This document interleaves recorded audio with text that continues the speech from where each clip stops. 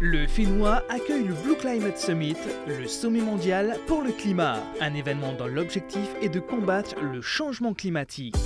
Pour l'occasion, la chaîne met en place un dispositif exceptionnel pour diffuser les trois rendez-vous phares du sommet en direct et dans leur intégralité.